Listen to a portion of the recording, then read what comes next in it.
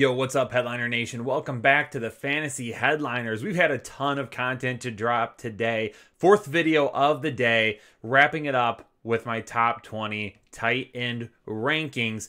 Getting ready for week 13 of the NFL season. No Thursday night game this week, which is a little bit weird, but not, you know, something that we, you know, expected coming into the week. Uh, but things are going to get a lot different throughout the week. I mean, we've got two Monday night matchups, we've got a Tuesday night matchup. Starting in a couple of weeks, we're going to have Saturday matchups again. And then, of course, the end of the season just around the corner. So let's go ahead and hop into it. Let's talk about my top 20 tight end rankings here in week 13. And to kick it off at number 20, Mr. Trey Burton.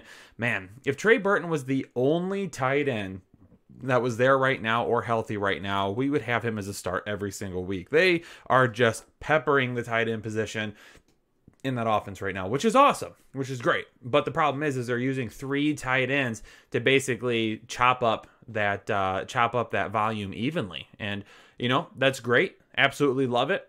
I love watching tight ends score. That was weird. But anyway, Trey Burton would love to see him out there. It's just hard to call him a start. You have to hope for a touchdown every single week. But then you got, you know, like last week, uh, you know, Trey Burton gets the score. The week before that, you see Jack Doyle get a score. Mo Alie-Cox is still being used quite a bit. So that's why I'm uncomfortable using Trey Burton, listing him as a start weekly. And number 19, Jordan Reed. I, I like Jordan Reed as well. A dude could get uh, quite a bit of targets, but this week we do have both Brandon Aiyuk and Deebo Samuel back. And of course, this, this offense loves to run the football. So that takes away from Jordan Reed a little bit as well. Noah Fant at number 18. The biggest thing here is who for sure is going to be the quarterback. There, I, I, At this point, there could still be a suspension. There could still be um, some sort of an issue. It does, in fact, look like Drew Lock may end up playing. If Drew Lock is the guy, if they announce, yes, Drew Lock 100%, he is going to be the guy this week, then Noah Fant will get a bump up for me 100%. No, if Drew Lock is the guy this week, then we will definitely move him up more along the lines of probably a top 12 tight end, probably right up in front of Kyle Rudolph or potentially even up in front of uh, Austin Hooper right there. So it, it, it, it's just something where we have to be careful, okay? It's just something where we have to be careful this week. But again, we could move forward with Noah Fant if we find out for sure. You know, the fine came down for Drew Lock, uh, you know, but what if they decide not to play him this week? Or what if they, you know, say we're going to suspend somebody for a quarter and play this guy? So, you know, that's that's just what it is. That's just what it is. Um, but we'll keep an eye on the situation. Number 17, Jimmy Graham with Jimmy Graham this week. Uh, it, kind of good news, not good news, obviously, when somebody's hurt. But uh, Darnell Mooney uh, doesn't look like he's going to end up playing this week. Um, that that helps Anthony Miller out a little bit. And my wide receiver uh, start and sit analysis, I had Anthony Miller as a sit and Mooney as a start. I'll be switching that up, just a little bit an FYI there. Uh, but Jimmy Graham's still going to be a sit for me this week. Uh, you know, Detroit's still very very banged up. You know, it's a good uh, it's a good chance that the Chicago Bears will probably get out in front of them early, uh, and they might be running the ball a little bit more than uh, what we would expect. So Jimmy Graham is not going to be a start for me this week. Zach Ertz is not going to be a start for me quite yet, but it does look like Zach Ertz will be back this week. So, what do we do with him and Dallas Goedert? Well, right now, I got to see Zach Ertz healthy. I got to see him healthy. I got to see him on the field, all of these things. Okay. So, let's let's go ahead and pause this week. Now, if you have a team that has no other options whatsoever, you could end up going that route if you want to. Okay. Just expect very low upside and maybe don't expect him to get ran out there that often. Okay. That's what we need to be careful of this week. Jordan Akins at number 15. I do have him listed as a start. No Will Fuller means Keke Coutee is going to have to move to the outside a little bit more to play, meaning Jordan Akins, who is six in snap percentage out in the slot among tight ends, could get a little bit more looks out in the slot. And he's been a guy who in the past has had some good games. I expect to see the same thing this week. Anthony Firkser from the Tennessee Titans. There's no Jonnu Smith this week. The last time Jonnu Smith missed a week, Firkser had nine targets, eight receptions, and 113 yards, and he added a touchdown to go with it. He absolutely balled out. Now, another option too this week would be Geoff Swaim, who is also there in Tennessee. I don't know if I'm quite on board with Swaim as being a guy. He did get three targets last week and 30 yards. Um, but he hasn't really played a whole lot this year. He has two games. He basically has four games in which he's registered a target. Two of those games he had one target. Two of those games he had three targets. So Firkser is my guy that's going to end up being the one to really take the load away from what Jonnu Smith was doing. And now Jonnu Smith hasn't been doing a whole lot over the last few weeks. He didn't even get a target last week. Obviously, it looks like he was banged up a little bit, and that's probably something to do with it. Uh, so for this week, I will turn my attention to Anthony Firkser. He is a start for me now that there is no Jonnu Smith. So again, Anthony Firkser is now a start for me because there is no Jonnu Smith. At number 13, Logan Thomas. You got to hope for that touchdown, right? If that touchdown comes, that is absolutely what we are looking for from Logan Thomas. And it's it's kind of cool how they're using Logan Thomas right now as well. Um, they're doing some direct snaps with him. He's throwing the ball, he's running the ball, obviously playing tight end, can do a little bit of everything. But over uh, in the last six games, and four of those games, he's had he's had at least 60 yards or a touchdown, in four of the last six. So still a guy that not a whole lot of upside has been, uh, you know, kind of consistent in a weird way for us. So Logan Thomas barely missing the top 12 there. Kyle Rudolph at number 12. I do think he sees a, a, decent amount of volume again this week. A really good week last week with no Adam Thielen. There will be no Irv Smith Jr. again, but Adam Thielen will be coming back. That limits Kyle Rudolph a little bit. At number 11, Austin Hooper. Austin Hooper just barely missed that touchdown, man. Austin Hooper, he is a guy that I that I did not like coming into the season, obviously. Uh, and then a couple of weeks ago, absolutely loved him against Philadelphia. Didn't really turn out, but he just barely missed that TD reception. Last week, he doesn't do a whole lot, but he does get the touchdown reception. So the hope is is that we go back to seeing what we kind of saw before he had that emergency appendectomy. Like right before he had that emergency appendectomy in week 4, 5 and 6, he had 7, 10 and 16 targets and he had 5 receptions in all 3 of those games. That is what I hope is coming at some point in time and going up against Tennessee could be the right time for that to start turning around. So keep your fingers crossed. If you've got Austin Hooper this week, you know, just keep in mind that is definitely a risk, but every single tight end on this roster basically or on this uh, season has risks in some way, shape, or form. Moving over to the top 10 tight ends, I did have Eric Ebron as a sit in my start and sit video. It's just hard for me to trust Eric Ebron when he's got three wide receivers around him that just are, are taking away so much potential volume. But over the last two weeks, and part of the reason that I had him, you know, listed as a sit was because I was still waiting on that game that was happening on Wednesday. But over the last two weeks, he has seven targets and then 11 targets last week it's hard to walk away from that right now. So even though I'm not loving Eric Ebron because of how much offense is getting pushed towards those uh, those wide receivers, that core group of three that they have that are playing so well, it's hard to walk away from 18 targets over the last two weeks. I mean, he had 12 targets between weeks nine and 10, so that volume is happening a little bit. But this continues to be the concern for me. Okay, and this is why I've been listing him as a sit. Six targets, but only three receptions. Six targets, but only two receptions. Seven targets, only four receptions. 11 targets, only seven receptions. His catch percentage 50, 33, 57, 63. Last week, if you watch that game, he dropped a touchdown and he had two other horrible, horrible drops as well. If you're a Detroit Lions fan, you're used to watching that he did it in Detroit all the time. That is why he is a concern for me, is those drops, man. And I'll tell you what, you can't really blame it on Ben Roethlisberger. Ben Roethlisberger is putting the money or putting the ball right on the money for these guys, and they've got some awful drops. It's not Roethlisberger not being able to hit his target. It's not. It's not a target that went up and awry or anything like that. The, these are targets that are going right to Eric Ebron that are being dropped if you play him, you just got to hope that he catches everything that's coming towards him and he limits those drops. Mike Gesicki at number nine. If you've got Ryan Fitzpatrick starting, which it looks like he will again, then you've got Mike Gesicki starting. The upside between him and DeVante Parker with Ryan Fitzpatrick at quarterback is just far too much to ignore. Hayden Hurst at number eight.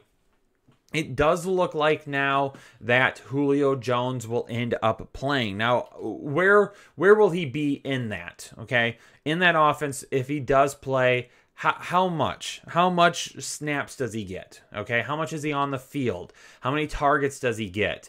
My hope with Hayden Hurst is that he still gets around the eight-ish targets that we saw in Week 12. And it's a little bit of a blip on the radar. Back in week 11, looked like just a smash start against New Orleans, right? He had two targets, no receptions, and no yards. But the three previous weeks before that 8, 7, 62, 7, 5, and 54, 7, 6, and 68. So he's a guy that was getting volume seven targets, seven targets, eight targets. That week 11 performance against New Orleans with only two, and then back to eight targets last week. And now we get New Orleans again. I'm going to bet that Atlanta is a little bit smarter this week, knowing that New Orleans doesn't have a great time stopping tight ends. They get him much more involved this week and he bounces back. Dallas Goedert at number seven would love to have him higher, but again, with uh, with Zach Ertz coming back, that's a concern. You know, over the last three weeks, weeks 10, 11, and 12, you know, Goedert came back for week eight. And at that point, I said, let's pump the brakes a little bit. Let's give him a couple of weeks. I don't see too much happening this week. And then we get a bye week, and then we go back to Goedert at that point.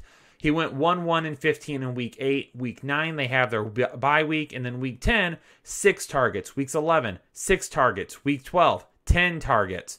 So 6 4 33 in week 10, 6 5 and 77 with a touchdown in week 11, 10 7 75 and a touchdown last week. Definitely he is performing. Hopefully he can get that score for us again this week. Robert Tonyan at number six. I I, I can't believe that he hit his basically stayed alive with fantasy relevance.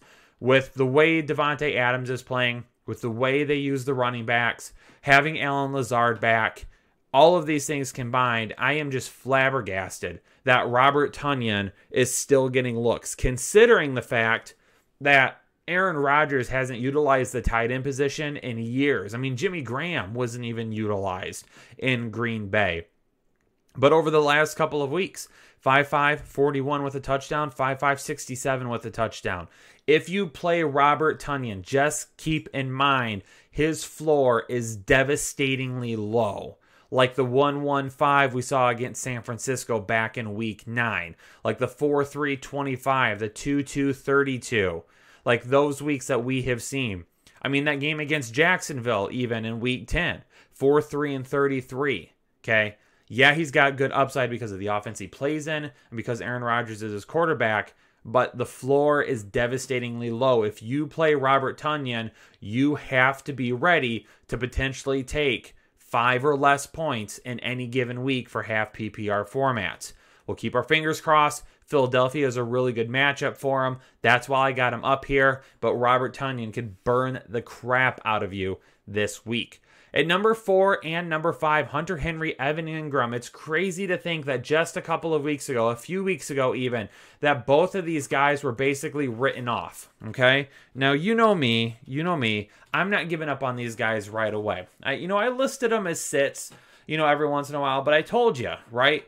I told you, Evan Engram, the volume's been there at times. If it comes back, we're good. I told you with Hunter Henry, the volume has been there. If he can start scoring a little bit more often, then we're good. And look what's happened to both of them over the last few weeks. Evan Engram, that volume starting back in week seven, nine targets, 10 targets, 10 targets a week 10 blip against Philadelphia, only three targets, two receptions. And then last week against Cincinnati, bounces back with nine targets, six receptions for 129 yards. His first 100 yard receiving game of the season.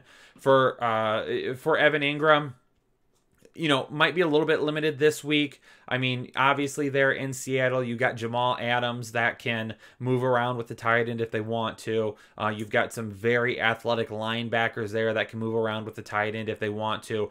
But it's hard to ignore the fact that the dude has almost 40 targets over the course of four of his last five games combined.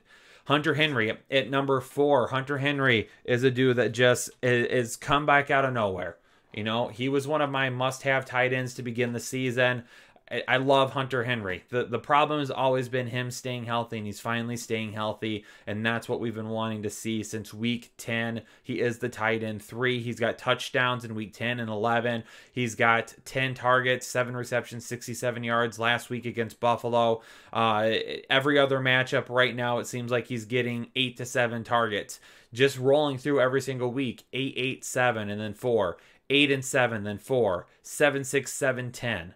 I told you, the volume has always been there for Hunter Henry. If he started scoring, that is when this dude's upside continued to bust out. A lot of people very, didn't really like playing him. They said, you know what, this guy isn't really doing anything. But if you look at his numbers compared to some of the other numbers this year, they're right in line with everybody else. It's just been can he score? Can a few more catches come his way? Can he break up a couple of more uh, big plays to start the season? His yards per reception were 14, 13, 10, and 19. And then all of a sudden in week five through week 10, they disappeared five, seven, eight, eight, seven. And then the last couple of weeks back to 12 and 9, 9.57. So we're almost back up to 10 there. So the big plays, the touchdowns, they're starting to come back. That what's that's what makes Hunter Henry so good. And number three, TJ Hockenson. You know, not much else to say about the guy. Uh, you know, if you've got no Kenny Golladay, which you don't this week, and if you've got no D'Andre Swift, which he is questionable, going to be a game time decision to see if he can clear concussion protocol, then Hunter Henry is a guy, or excuse me, TJ Hockenson is a guy um, that should get peppered with a lot of targets. Now, the one thing I will say, and I know a lot of you out there feel like I'm a TJ Hockenson hater, and I am not. I hate the Lions because the Lions are idiots. TJ Hockenson was my number one tight end in that draft. I absolutely love this kid. But number one, tight ends take some time when they reach the NFL. And number two, if you don't utilize them correctly, they're not going to put up decent numbers. Darrell Bevell the other day said that the hope is the rest of the season they speed this offense up and they start moving at a better pace on offense. If that happens, that is absolutely excellent for TJ Hockenson because he's such a matchup nightmare having to face some of these linebackers or having to face maybe a slot corner or a safety has to come up you know, some of these cornerbacks, they can keep up with those pace, but then when you have to face some of these linebackers or some of these slot corners or some of these safeties that aren't really used to being in coverage 100% of the time or being man to man 100% of the time, they can get gassed a little bit, and that can allow TJ Hockenson to see a lot more big plays, a lot more upside. I'm excited for that. I hope hope, hope, hope TJ Hockenson can end the season strong. So whoever the next head coach coming in is sees what kind of a weapon he is and utilizes him in that fashion.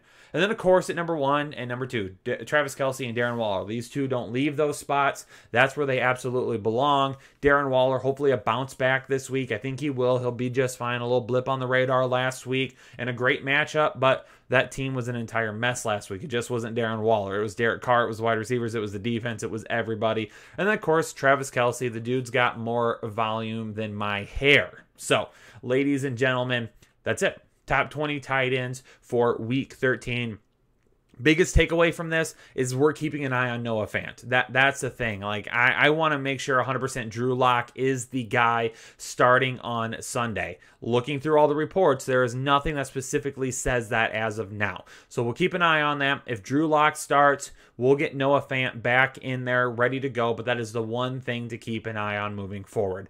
Headliner Nation, appreciate you tuning in to this video. Do me a favor, go down below and hit that like button, and also leave a comment if you've got a question about anybody. And of course, if you're new here to the Fantasy Headliners, hit that subscribe button and become a part of Headliner Nation today. Appreciate it, everybody. Thanks so much for tuning in. Stay safe, stay healthy, and I'll catch you on the next episode of the Fantasy Headliners.